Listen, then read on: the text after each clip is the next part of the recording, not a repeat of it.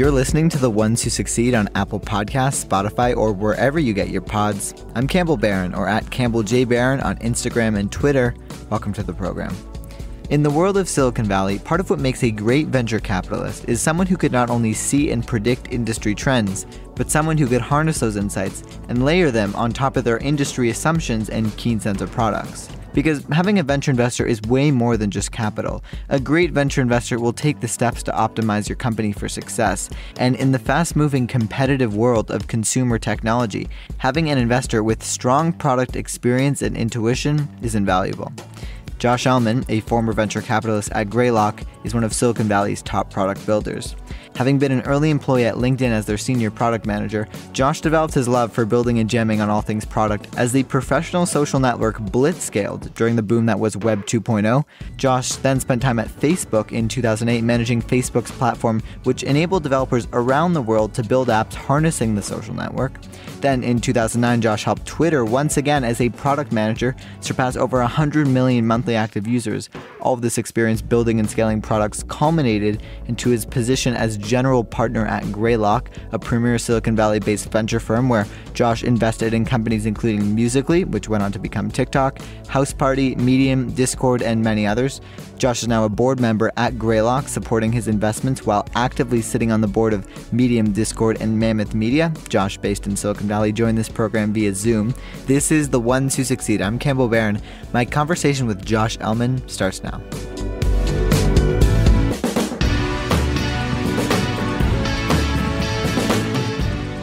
Josh, I really appreciate you taking the time to come on the program. Great to get to talk to you. Thanks for having me. So, I'm really interested in the VC world, and why I really wanted to have you on the program was not only your experience in the VC world, but I am really interested in the intersection uh, that you have in regards to venture investing and products, because it seems like at the center of your career is this experience building various products, whether that's Twitter, LinkedIn, Facebook, Robinhood, etc. And so, I really want to get into that. But before I get into that, if you can introduce yourself, who are you and, and what do you do? Hi, my name's Josh Elman. I am had 23 years of experience building products in and around Silicon Valley. Um, a lot of it as a first as an engineer, then as a product manager, then as a venture capitalist, and then again as a uh, you know running product. Uh, most recently at Robinhood. Um, I left at the end of 2019 hoping that kind of 2020 was going to be sort of a, a break, refresher, a year full of travel. 2020 has certainly been a break. It has not been filled with travel. It has been oddly refreshing not to have day to day things that I'm working on. I'm still on a couple boards and helping a bunch of companies as an advisor, but it's been, you know, quite a strange year for all of us. Yeah, it's been quite a strange year indeed. And yeah, 2020 wouldn't be the year I would pick to travel. Let's just say that. Um, if only I had known. Yeah, exactly. If only, yeah, I would have bought Zoom stock. Um, so exactly. how did how did you develop your interest in technology? What's your origin story leading up to LinkedIn, leading up to your early days? Um, what were you like as a kid, and how did that how did your technology interest kind of come to fruition? So we got my first computer when I was five years old. It was a VIC twenty, and my dad was really into computers. He had been a psychology major and psychology professor, but was always interested in how computers were changing things, and so got us this VIC 20 and you know, I would hack around it a little bit, but mostly used it to play games and like got really good at learning how to play games. We first loaded them off of cassette tapes. Mm-hmm. Then we had big floppy disk drives. Then we had the the smaller disk drives. I got my first Macintosh, uh, which was like a little bit classic Macintosh. Uh, I don't remember if it was like 1986 or 1987. I got into desktop publishing.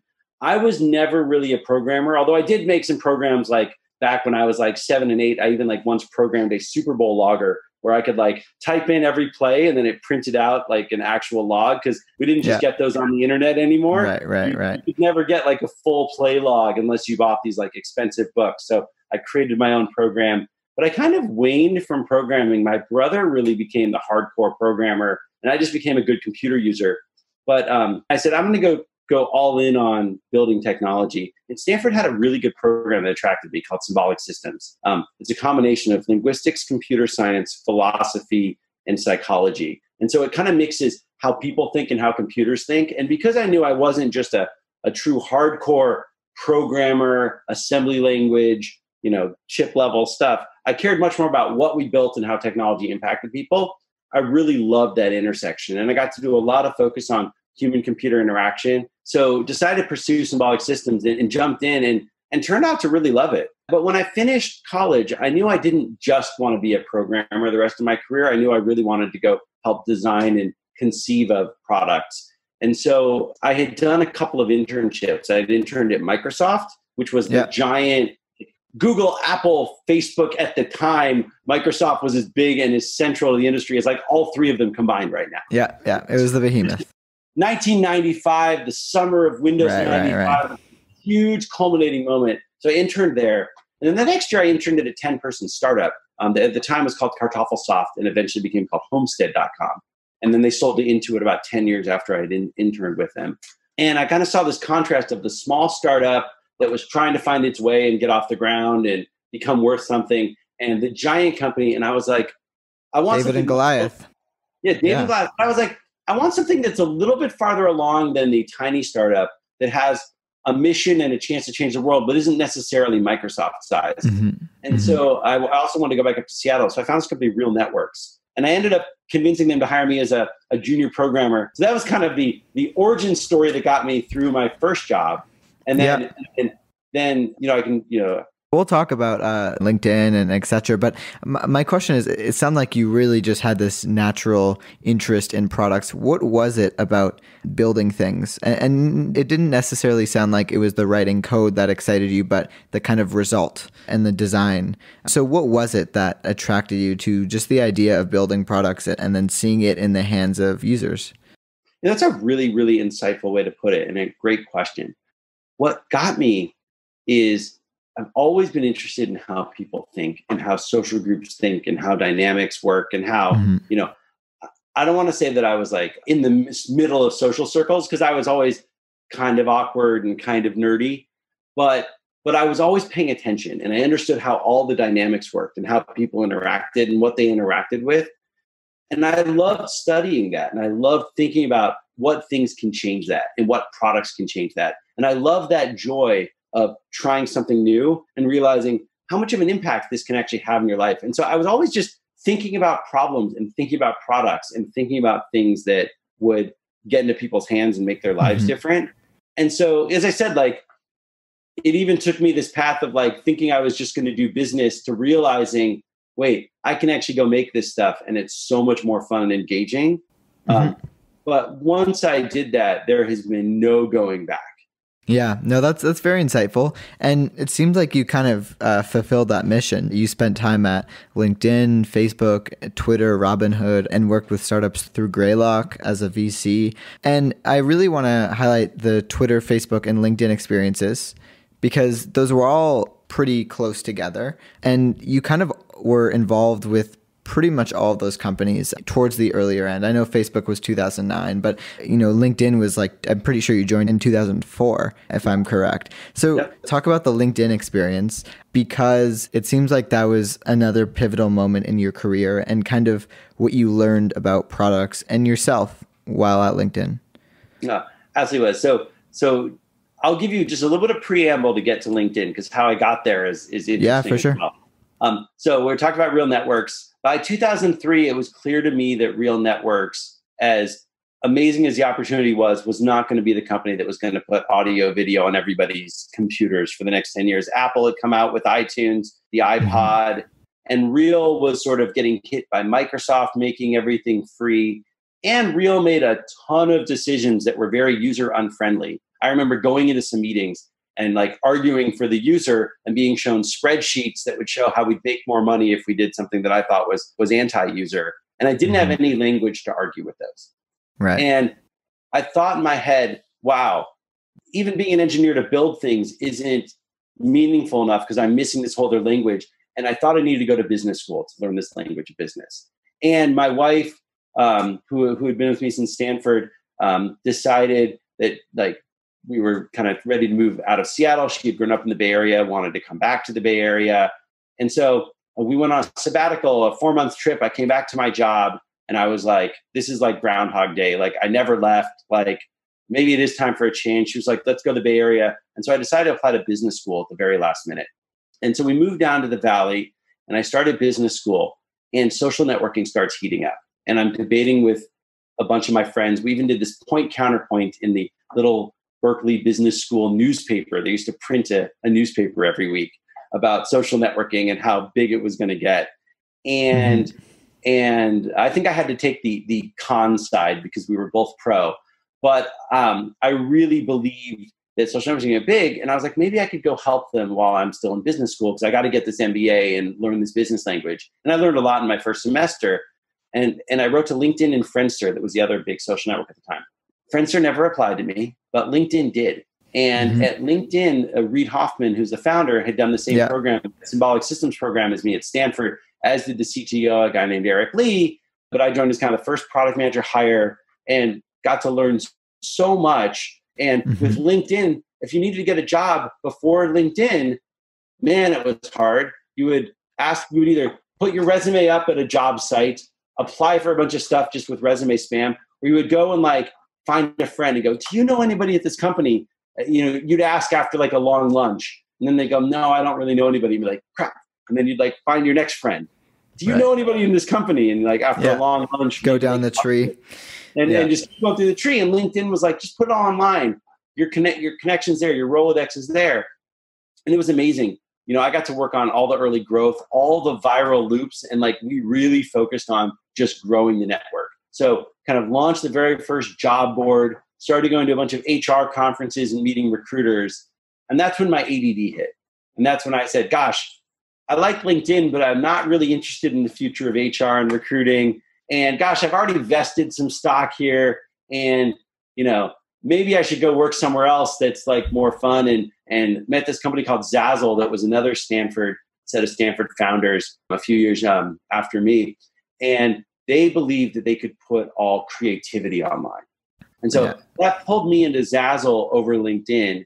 I spent a couple years there. I, I, helped build up the product team, and you know we grew the the team and the revenue, and they're still around doing doing incredibly well. Actually, it's kind of one of these like you know 15 years later, sort of not really talked about anymore, but it's just like you know quietly doing quite well. And I worked there for a couple years, and then I got my ADD again, where I was like, oh, this is never going to be as big as I want it to be yeah. Social still is taking off.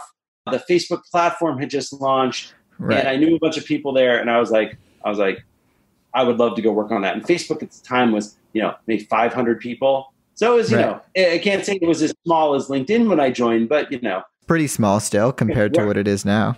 Relative to now, I mean, I go back now, and it's like, you know, there's a few faces I still know, and then it's just like this mammoth company. Um, yeah. But uh, the platform had launched, and you know, this was 2007. So for a lot of people and your listeners, this might still feel like ancient history, but for me, I lived it. You know, the Facebook platform was the first way that if you're building a consumer internet product, you could get massive distribution almost overnight. Because yeah, by harnessing the Facebook social platform. Yeah, by harnessing the Facebook social graph, by harnessing the Facebook news feed. And so what happened was a lot of entrepreneurs got really excited and built things on top of Facebook platform. Yeah. And they built yeah. new apps that were viral. You might have never heard of them, but they were things called like Super Poke that was like a much more fun animated poke. There was yeah, wasn't Dave Morin leading this? Yeah. So Dave yeah. Morin was one of the early advocates. He uh, we worked side by side. He's he, yeah. he was phenomenal. He helped get that platform off the ground. And when I came in, the vision mm-hmm. was like, okay, it's great we have all these startups building things, but why don't we have the rest of the internet? Why is Amazon not building things on Facebook platform? Why is CNN right.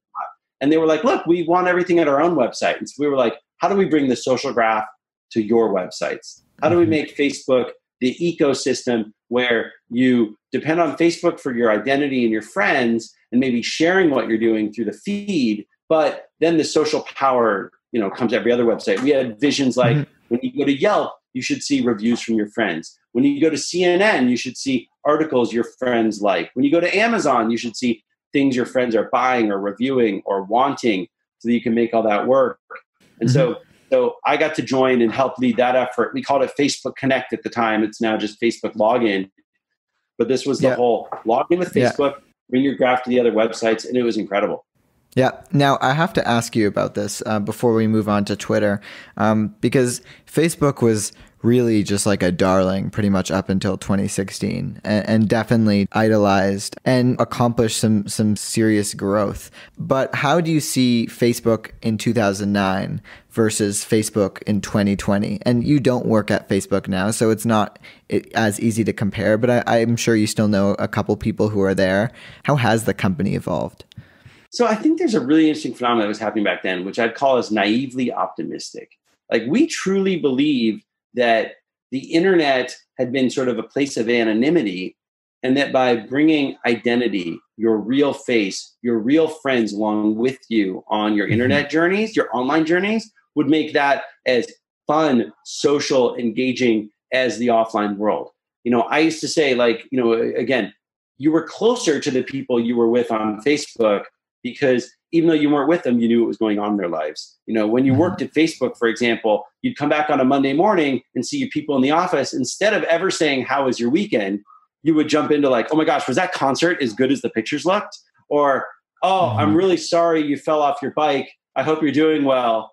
You know, and, and, you would just immediately could jump forward in in yeah. the there's this enhanced sense of empathy that you kind of yeah. wouldn't be able to see through beforehand.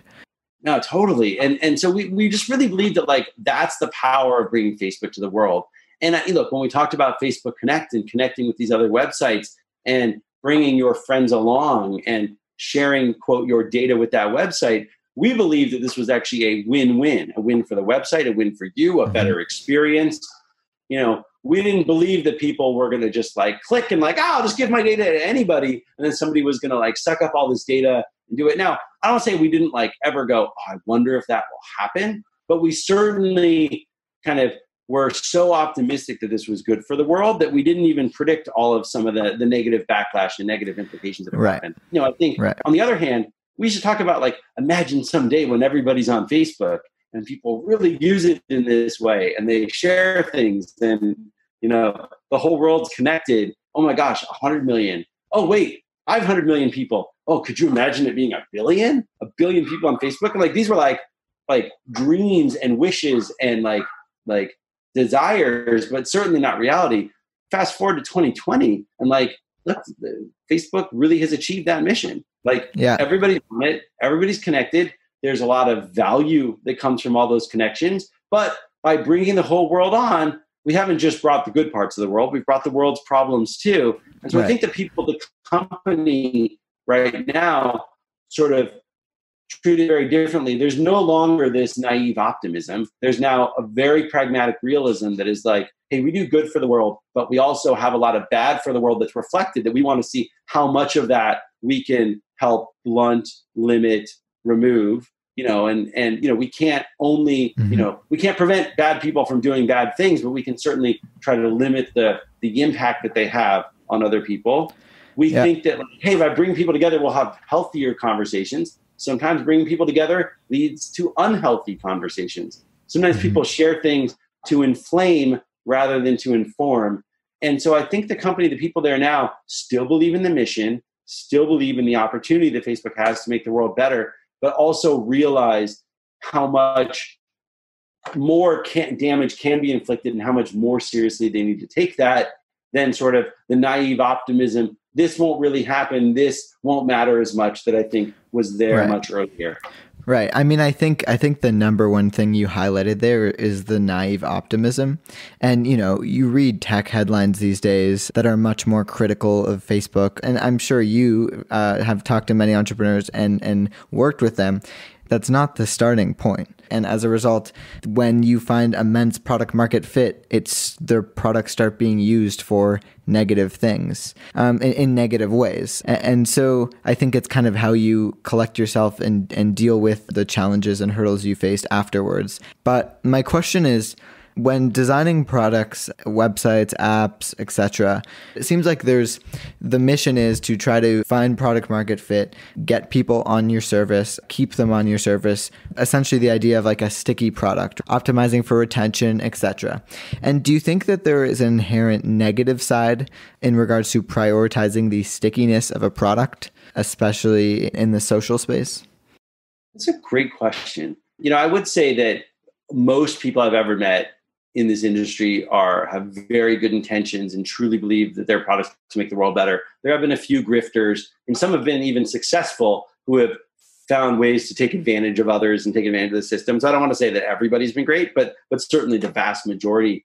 I think the challenge is that when you're trying to build something new, you truly believe that if people use it, their lives will be somewhat better. It doesn't mean wholly better, and it doesn't mean there will be trade-offs, but you truly do believe that that you're doing it. If you're building a game, you believe that look, people are getting this moment of joy and levity and you know expression and interaction by playing this game. If you're building a social product, you believe that you're building moments of connectedness that they aren't having otherwise. If you're mm-hmm. building a media product, you believe that people you're giving people access to either information or entertainment that they otherwise wouldn't ha- you know wouldn't have. I mean Netflix right. gives me a ton of great information and a ton of great entertainment and, and I love Netflix for that, you could also say that Netflix is addictive.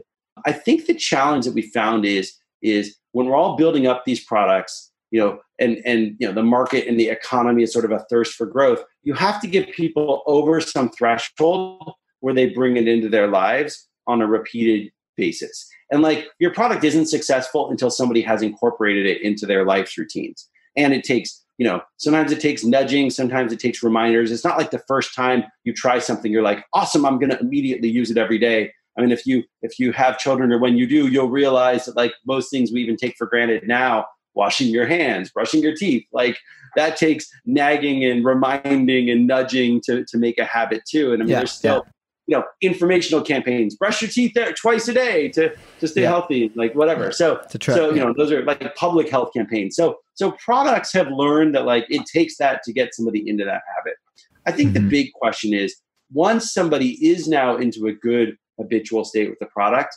how much more should you be doing to get them to do more versus how much should you now be doing to say stay at a healthy habit and i mm-hmm. think that we are just the past three years have certainly opened up, I think, the the company's eyes to like you're not just startups anymore, thirsting for the next growth, thirsting for the next growth. But it's really only been the past, let's call it three years or so, where profits lock in, like where it's really felt there. And I think mm-hmm. now companies have a bigger responsibility to go, now that you're in habit, now what should I actually do to help you stay there but stay healthy? And you're seeing mm-hmm. things like screen time and like hey you're done with your feed. And so i think we're just starting to see that. But look like every industry now has that challenge. You know food is great until you eat too much. So so we all have responsibility and that's where the companies need to self-regulate or the regulators will. I really want to talk about your uh, your takes kind of on on products especially in, 2020 and and you spent quite a, a, a short period of time but a decent period of time at robinhood managing that product. And robinhood is a startup startup that has been doing really, really well during this pandemic and has also faced some, you know, harsh headlines as a result. And there's this like very, very complicated media versus technology debate that's quite frankly could be its own podcast episode. And so I don't really want to get too much into that. However, you know, you can't ignore it in regards to talking about products and especially where Robinhood is right now what is your stance on Robinhood? How do you look at the challenges uh, they've faced, speaking on behalf of yourself? And then how do you look at the relationship with the media? So I think there's two parts here. You know, this goes very hand in hand with sort of the naive optimism and the responsibility we've been talking about with with Facebook and other things right. too. Look, right. five six years ago when when the founders were first starting Robinhood, and even a couple years ago when I joined the company two and a half years ago, like getting people to make their first investment like that's really powerful. That's good for the world. If you look at the economy the the the best thing you could have done with money over the past decade was have it in the stock market as the whole economy grew and as everything grew. And what's what's incredible and what's really disappointing is how imbalanced that, that is. The rich got richer core job wages mm-hmm. didn't go up nearly as much as as wealth through markets and investing and flipping the table so that it's easy for everyone to invest. There aren't minimums, there aren't complicated products that make it feel like this isn't for you. There aren't the same commission trade whether you're trading you know one share of a stock or a hundred shares of a stock because it's really onerous when you're only trying to buy one share of stock just to get started in the market. If you're 22 and you're making more than you're spending and you have enough emergency savings and you can afford to put some in the market, it can be great to do that. And it can be great to put some into index funds that are safe and stable. And it'd be great to have some theories of the world based on your expertise, where what brands you're buying, what experiences or things you're spending money on to make very specific investments based on your theories of the world too. And so that's mm-hmm. where I think Robinhood stands for is, hey, can we help people do that? Can we help you get in the market? Um, mm-hmm. So that's really powerful. On the other side, like some people go, hey, the markets move up and down every day. And if I move money in and out of the markets along this, I might be able to make a bunch of money. And there's a much, the, the group I talked about first, just getting money into the markets, their theories of the world, that's much, much bigger than this other population. But the other population is is noisy and does exist. And they're like, yeah. whoa, I want to like swing trade on the market, and Robinhood is a great tool for that. And whoa, I put some money into the market, and whoa, I've already made some money. This looks easy. Let me try to do it more, and let me keep going. And so you kind of have these these two things going on that say, hey, wait a sec, like that becomes maybe less healthy or less sort of always thoughtful, thinking about theories of the world mm-hmm. behavior and more trying to trade the markets. And right. for, every, for not everybody, like that's a good decision, either financially or with their time or their energy. You know, there have been stories even of people who are taking out debt in order to do this. That just sounds like a terrible idea. Like a, yeah. a second mortgage on your home or credit card loans to try to play the market is yeah, a that's a disaster. Yeah, nobody yeah. should ever do that.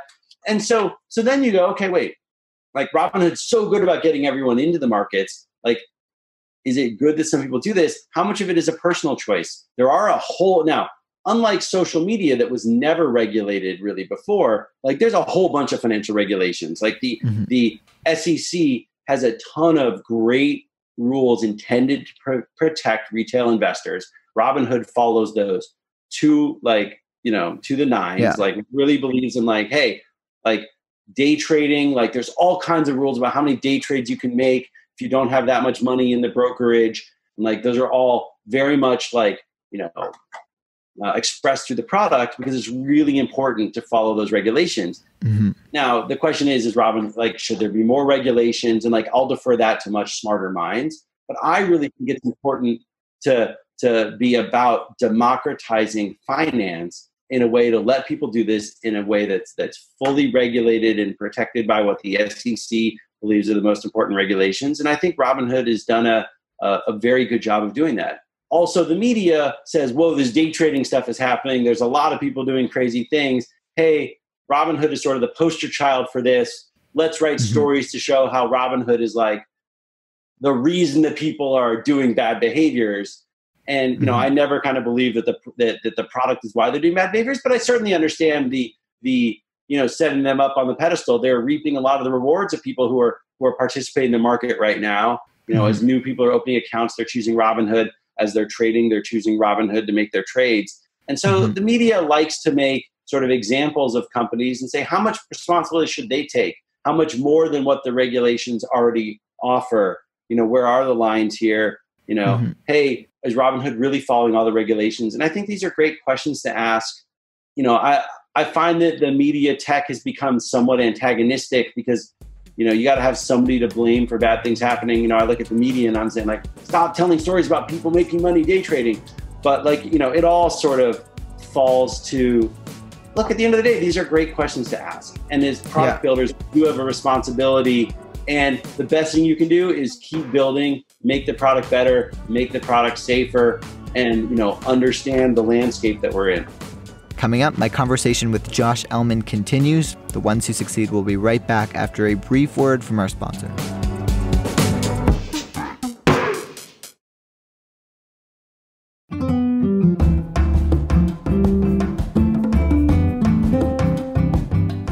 This episode of The Ones Who Succeed is brought to you by Skillshare. Skillshare is an online learning platform with thousands of classes in business, marketing, technology, design, and more. You can take classes in social media marketing, video editing, entrepreneurship, you name it, they've got it. So, whether you're trying to deepen your professional skill set, start a side hustle, or just explore a new passion, Skillshare is there to keep you learning and thriving. So, ladies and gentlemen, here is the call to action. Skillshare is offering the Ones Who Succeed listeners two months of unlimited access to thousands of classes, all for free. To sign up, go to Skillshare.com slash succeed. Again, that's Skillshare.com slash succeed. That link is how they know the ones who succeed sent you to start your first two months now.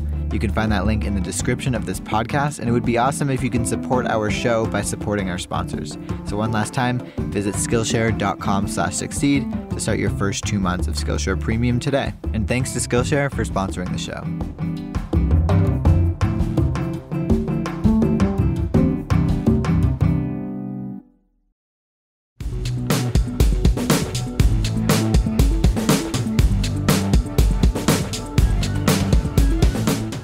You're listening to The Ones Who Succeed. I'm Campbell Baron. Welcome back to the program. Thanks for joining me. So, I'm about halfway through my conversation with Josh Elman, so we're going to jump right back into that. How do you look at the relationship, the complicated relationship in the recent years that tech journalists have, or journalists in general have, with Silicon Valley? It seems like it's deteriorated dramatically in the past few years just much more critical. And, do you think that's just? Do you think it's completely blown out of proportion. And I'm just curious because as someone who's in Silicon Valley in that space, uh, you kind of see this firsthand with companies you work with, with companies you've been involved with. What are your thoughts? You know, I think the thing that we we always forget is the power of a good narrative.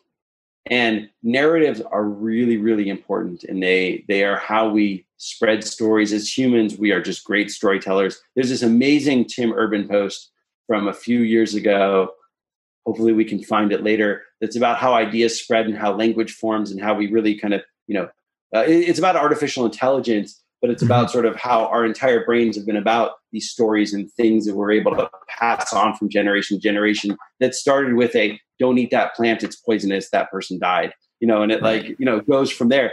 And and so narratives propel us. And look the media the broad media that we have are amazing storytellers. And they are great at both creating narratives or or weaving together the narratives that was happening now. And that really does set the agenda for a lot of people. Now we've ended mm-hmm. up with a couple of different factions. We've had sort of more you know uh, you know we've almost broken into like i hate using words like left and right but it feels like that sometimes where we yeah, have some yeah. much. no they're telling the same story from two different sides. And and i kind of hate that because we're not getting to sort of what used to be the core story. But narrative is important. If you're a media company narrative is what drives your business you know, if you're building a product, like you want people to tell your story. It helps amplify it. I mean, look, when when startups are on the way up, we're democratizing finance, we're opening communication and, and giving tools to everybody to to create and share. We're you know this open information ecosystem that Twitter was. We are helping people connect in the place to talk that Discord is. We are the place for creativity that TikTok is. Like the media amplifies those stories, and it's really really powerful.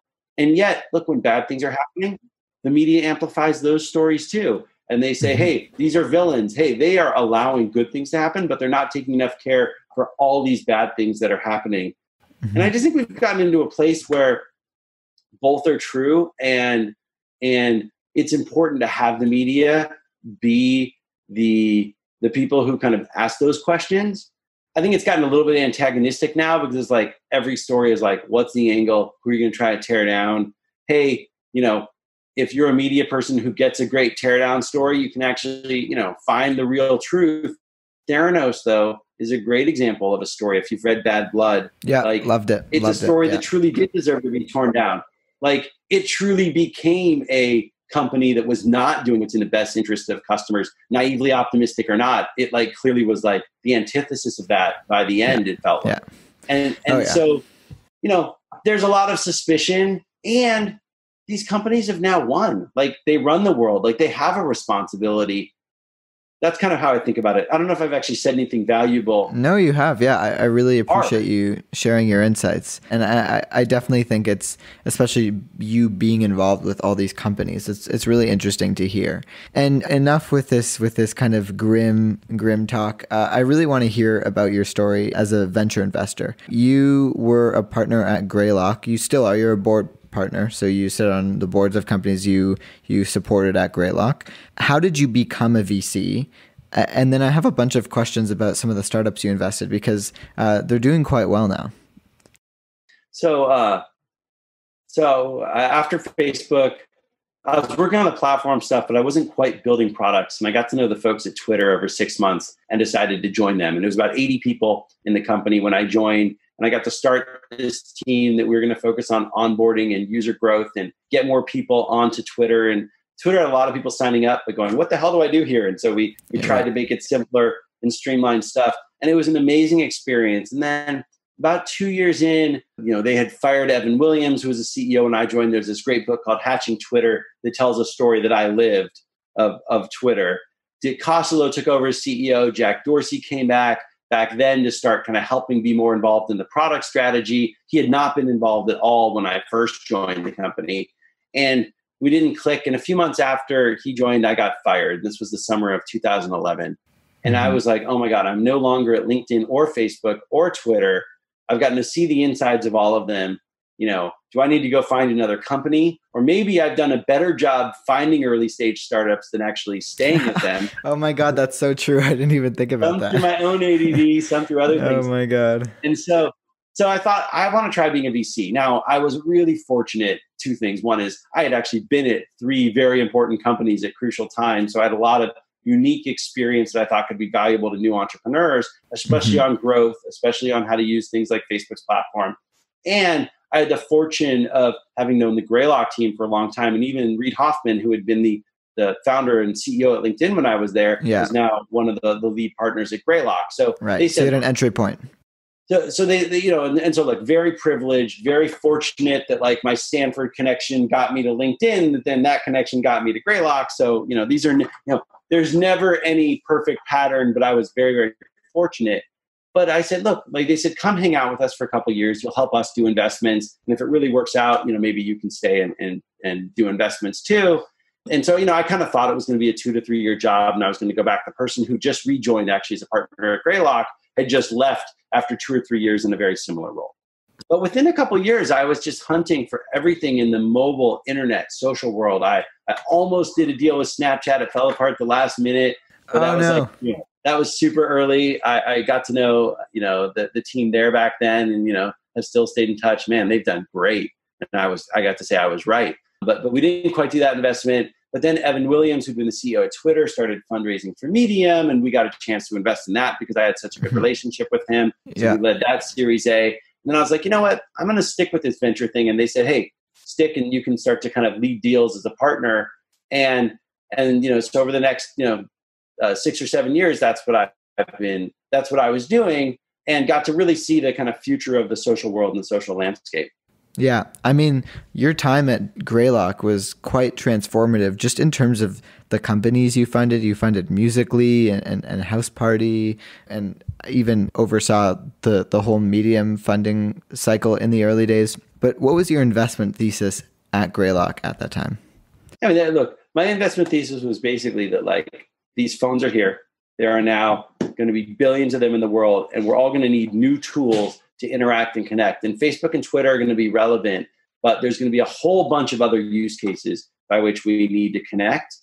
Mm-hmm. And we're going to need to connect to hardware in new ways, and we're going to need to connect to services in new ways. And so I basically spent all of my time looking for products that kind of help people connect in some fashion. Again, whether it was mm-hmm. like, so my very first investment was one called SmartThings that we sold to Samsung, that's now the center of their sort of mm-hmm. IoT strategy. And that was about connecting people to devices and connecting devices to each other in their homes. You know, and uh, you know, I later invested in Discord, believing that like gamers right, needed Discord, tools yeah. to connect. And if if we got that right, that was like gaming was very early for them. we got that right, then like, hey, over time, Discord could build this powerful tool for lots and lots of people to connect. And that that I hope will be one of my most successful investments because they're just yeah. doing great. Discord's you know, killing it. Yeah. When I found Musical.ly, they were a team in in Shanghai that felt like a U.S. Silicon Valley team building a product for kids to be more creative with their phones and for like you know for for teens and and young adults, and they were creating this amazing content that was just spectacular. And I yeah. was like, whoa! I mean, I invested in that in like a week because you know as soon as I met the team and felt their vision, I just knew that there was going to be something there. Uh, and so my mm-hmm. whole thesis was find these things that help people connect to experiences or each other or you know some hardware or businesses and be able to do that and and it was it was a great run and i'm like super proud. I think uh, you know Houseparty, which sold the Fort, you know, Epic yeah. Epic Games makers of Fortnite a couple years ago. They're still doing really well. SmartThings is still doing really well. Medium's doing quite well. You know, I talked about Discord and Musical.ly has become TikTok, and it's a whole new yeah. phenomenon.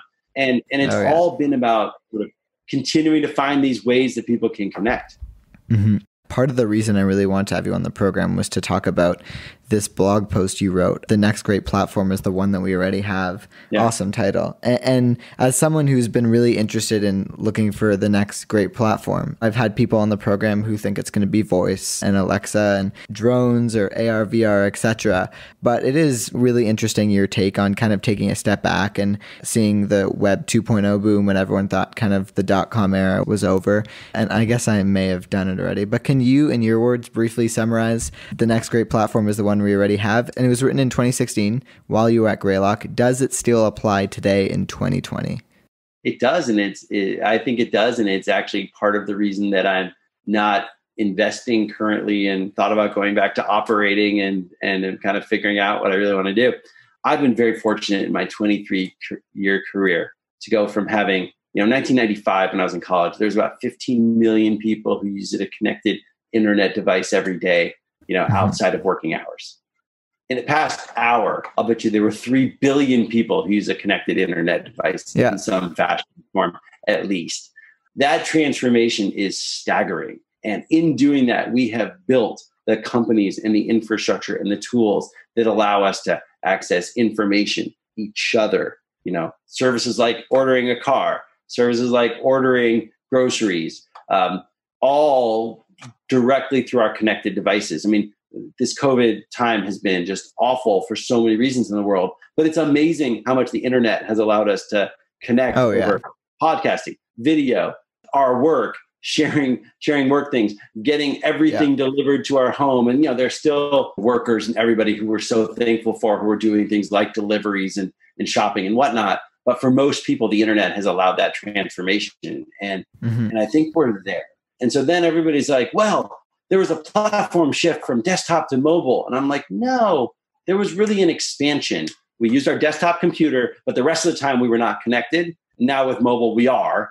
And mm-hmm. so it wasn't that we we shifted from desktop to mobile, although some things we certainly did, but, but we filled in all this other time that's connected. What I say yeah. now is like, it's mostly filled in now. The big products are here. The services are here. Like if you're inventing something new, you're either doing it in the cracks that aren't filled, or you know, you're now listening to your you know internet radio or podcast as opposed to car radio. But like right. we're kind of at the edges of even filling the computing time, so there isn't going to be the same kind of shift. And I think now the big companies that serve billions of people are in a much better position to guide us to the next things than the startups. Where in the past it was always the startups. And I liken this Detroit in the 19, 1910s. If we were there in the 1910s, every one of our friends and neighbors was working on some car company startup. I got a new axle. I got a new carburetor. I figured out a new way to like replace windshields. I figured out like whatever it is, like windshield wipers, like whatever it is. Like everybody was figuring something out. By the 1930s, it was consolidated into three, you know, GM, Ford, and Chrysler that were the three primary car companies that guided us for most of the last century. And mm-hmm. and I mm-hmm. there's a big part of me that feels like we're there in tech. That doesn't mean there won't be innovation. Of course there will. That doesn't mean there won't be new startups. Of course that will be very successful. Of course there will. But it might not mean that there's another 10 or 100 billion dollar company that comes out of the same types of things of what we've already seen. And right. that's sort of my belief.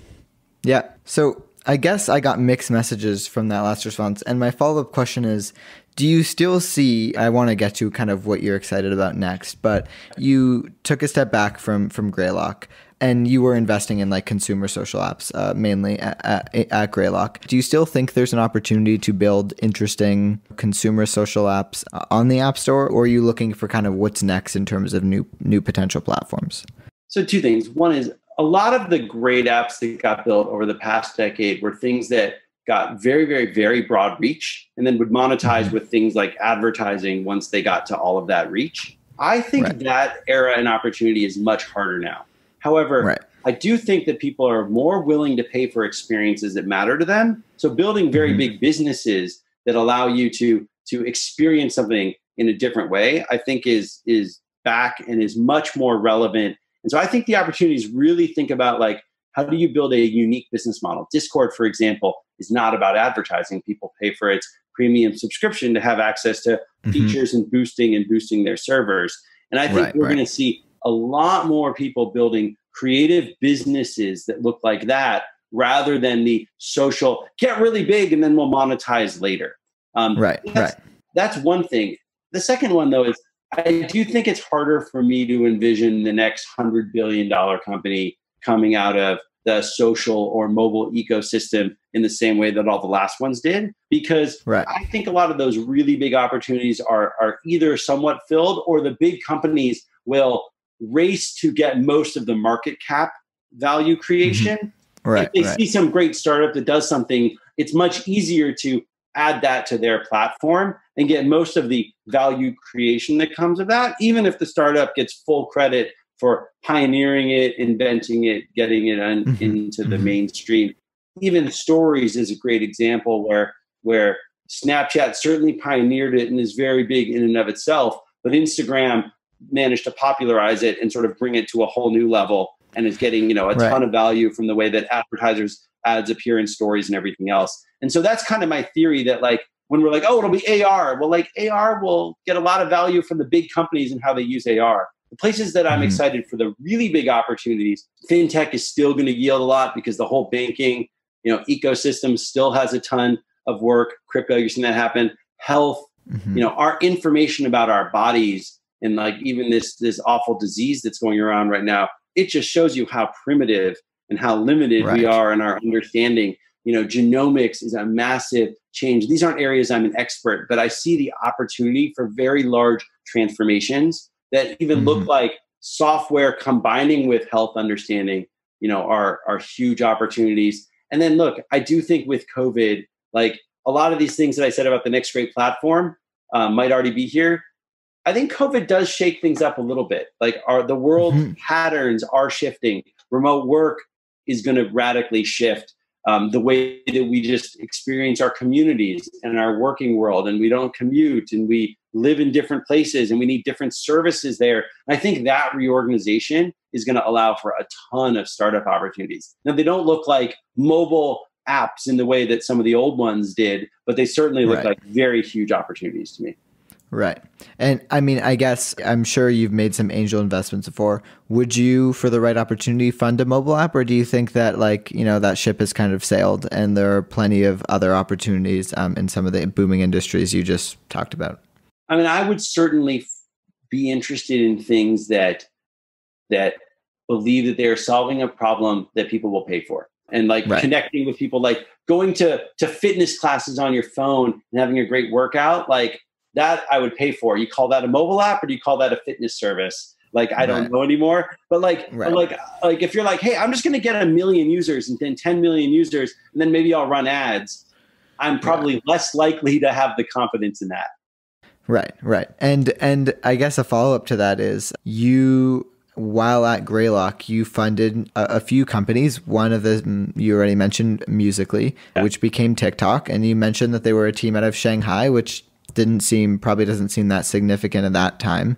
Yeah. Um, my uncle is from Toronto, lived has lived in Shanghai for the past fifteen years, and now as it is TikTok and ByteDance, you know, there's like this whole debate of whether it's spyware, whether yeah. it's the Chinese Communist Party is spying on American citizens. As an investor in Musical.ly and someone who I'm presumably has met the the founder of Musical.ly, I'm guessing. What are your thoughts on the whole TikTok debate as it pertains to national security and just the future of the app? I am not an expert in geopolitics by any means. Um, yeah, what I'll tell you is when I met the company, they could have been in the tip of South America. Like they right. felt like a Silicon Valley company and they had creative ideas and they were building a product that brought a lot of people joy. And I yeah. did the investment completely remotely and and I uh, with the founders. I had met one person who was here, but I met the founders and interact with them completely remotely. And I think that that's powerful. And I think it truly can come from anywhere. And that's the power mm-hmm. of what we have right now. The China US stuff specifically is incredibly complicated for so many reasons that go way beyond this one company as just an example right now. Yeah. I think that their intentions of bringing creativity and joy to the world are very strong and I think they're doing it in a in a really meaningful way and man, I love the product. Yeah, it's a really uh, sticky product for sure. A few more questions here. One of the one biggest investments you made uh, while at Greylock was into Houseparty yeah. which is like, you know, serving a major purpose right now in the pandemic. Although unfortunately it got acquired a little bit before this. What what are your thoughts on that? That was like, you know, a series of pivots and, and Meerkat, etc. And what do you think when you reflect on kind of that whole journey? when I first invested, like I met Ben Rubin even years before Meerkat, and he pitched the future that we would actually be broadcasting online live and that it would work, and that he wanted to build the products that brought that to the world. When Meerkat first popped, I got so excited. I was very fortunate to be able to lead the investment and partner with him and saying, This is the moment that live video 2015 bandwidth is here, phones are here, live video can work. This is wonderful. And I was so excited to partner with Ben.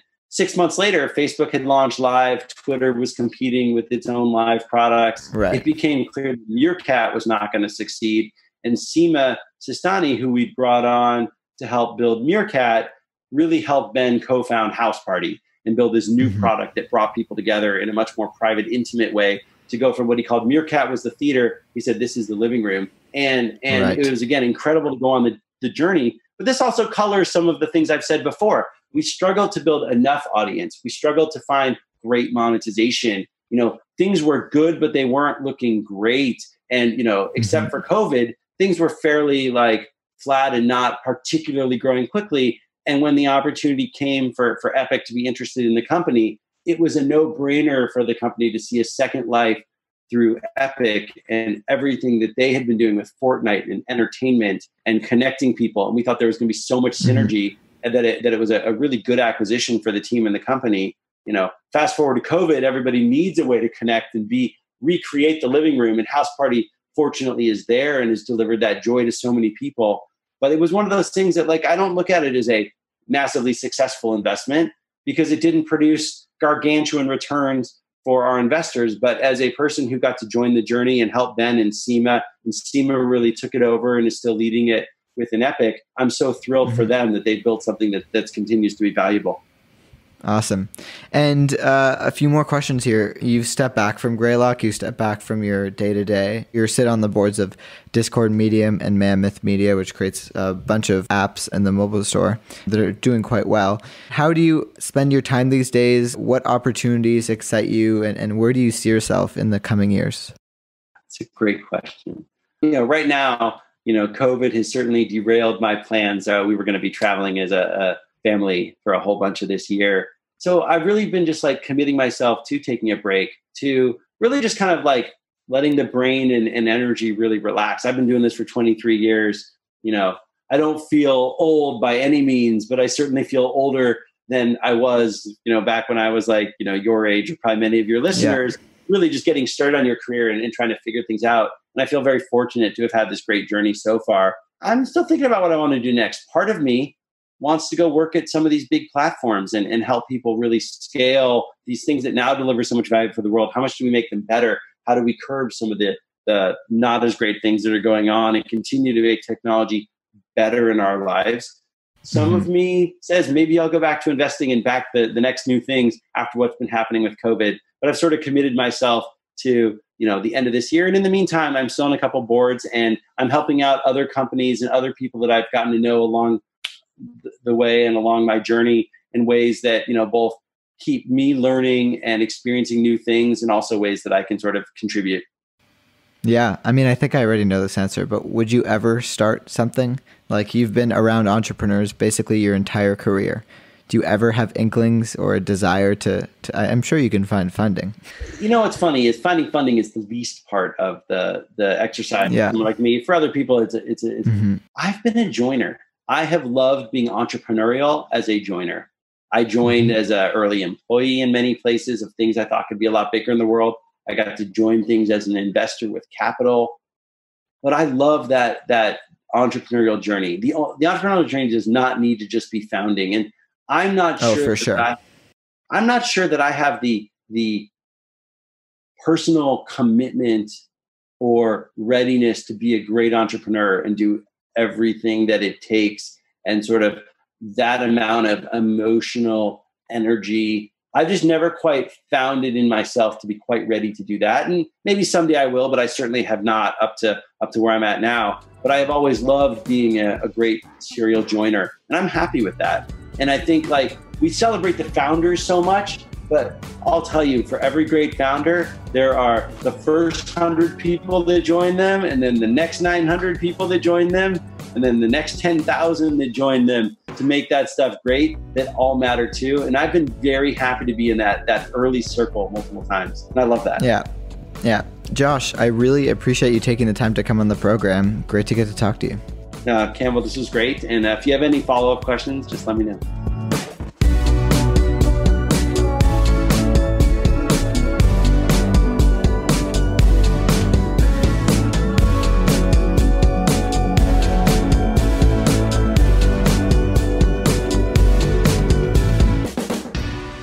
That's Josh Elman, one of the ones who succeed. Thanks for listening. If you enjoyed this show, it would be amazing if you could leave us a review on Apple Podcast. It really helps us out. Or why not tell a friend? That also helps new listeners discover the show. I really appreciate it. If you want to see clips from the show and stay up to date with what I'm working on, you can follow me on Twitter, Instagram, and TikTok at Campbell J. Baron. And my YouTube channel is my name, Campbell Baron. You've made it to the end of the show. Thanks for listening. I'm your host, Campbell Baron, and I'll be back in no time.